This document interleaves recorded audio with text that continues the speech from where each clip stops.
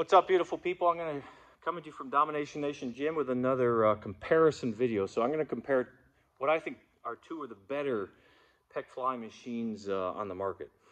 We're going to compare the Nautilus Nitro pec fly with the Nautilus Steel pec fly.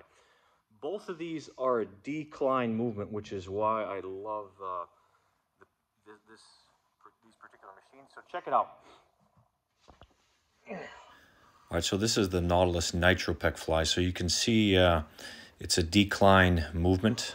Um, you're able to put these pads in the crux of your elbow and just follow the path of the fibers of the middle and lower pec. So both of these I find feel better with something behind my back.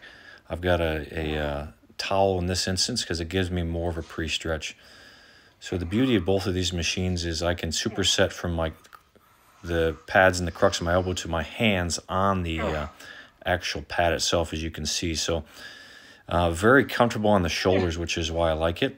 Um, the nice thing with both of these machines, this one you'll see, is I can get a, a full stretch. So I like to do intra-set stretching with these to get those myofibroblasts uh, activated. So you can see uh, I'm doing the superset from the pre-exhaust with the crux in my elbow to actually grabbing it with my hands almost like uh, I was doing a cable pec fly, but but with this machine. So, and then this is the Nautilus steel pec fly. The difference is obviously this is a recline position. It's kind of angled back.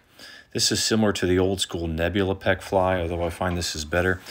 This position with uh, my elbows I find is much more comfortable on my shoulders than like a traditional pec deck where my hands are straight up in the air at a 90 degree angle. So the beauty of this is I can similarly superset from uh, my arms and the crux of the elbow to my hands on the actual pad. So again, both of these machines, particularly with a pillow or pad behind you, allow a full pre-stretch to a full contraction. And I'm able to truly get um, some intraset stretching, which is really cool.